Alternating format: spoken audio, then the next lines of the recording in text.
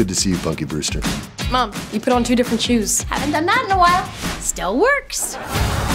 Raising three kids alone isn't easy. I had to grow up. Ish.